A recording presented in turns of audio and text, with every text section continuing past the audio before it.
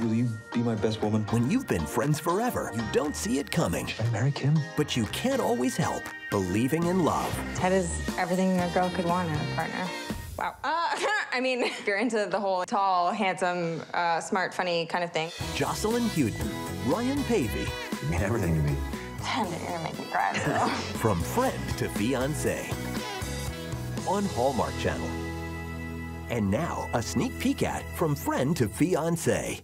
Been thinking a lot lately about life and love and friendship. Jess, I'm engaged.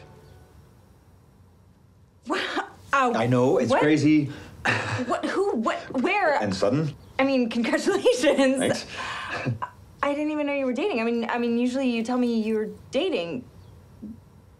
I know, that's that's kind of part of the thing. I didn't want you to disapprove.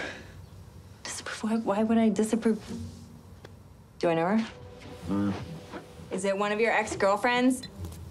Is it Amanda? Because I, I want you to be happy, Ted, but not with Amanda. No, no, it's not Amanda. Is it is it the one who made those like creepy porcelain doll things? What what was her name? Terry. Terry. Oh, it's not it's not Terry. Okay, good. It was weird. It's Kimberly Kentwood.